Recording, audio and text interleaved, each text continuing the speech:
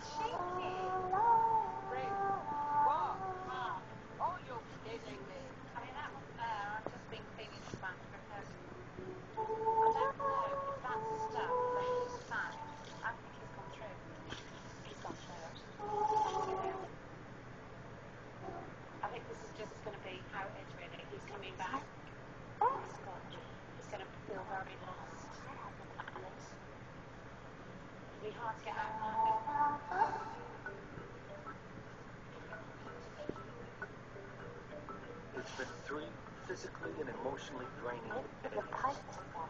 The eviction deadline is just hours away, but the job is finally done.